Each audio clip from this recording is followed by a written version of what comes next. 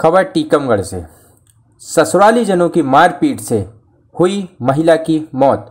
मृतक महिला का नाम प्रीति यादव, पत्नी विनोद यादव, ग्राम पाए, थाना बानपुर, जिला ललितपुर। मित्र महिला के भाई सुनील यादव छतरपुर ने बताया, मेरी बहन की चार वर्ष पहले शादी बाया थाना बानपुर में की थी। आए दिन ससुराल वालों ने मेरी बहन को लात घूंस से मारा, जिससे मेरी बहन की मौत हो गई।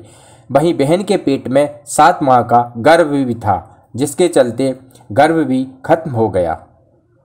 टीकमगढ़ से समीर खान की रिपोर्ट।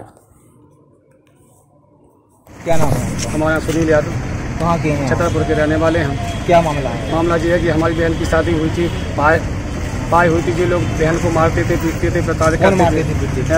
इनका हस्बैंड यानी कि हमारा बहनों विनोद और इनकी मम्मी और उनके ससुर साहब उनकी छोटी बहन आए दिन मारते रहते थे और दहेज के लिए पचास हज़ार रुपये एक गाड़ी चाहिए हमें। बोला गाड़ी तो नॉर्मल हो गई हर कोई दे देता है। हमने कहा हमारे पास सब गाड़ी के लिए पैसा नहीं हुआ? अभी इन लोगों ने कल अभी कल इन लोगों ने मारा उसको पेट में बच्चा भी उससे लाकात मारी पेट में बच्चा भी खत्म हो गया हमारी बहन भी खत्म हो गई। लात घूटों से मुँह दबा के मारा है कल। नाका से खून आया जब यहाँ पे अस्पताल में आए तो लोग बागों ने हमें बताया कल रात को साढ़े दस बजे।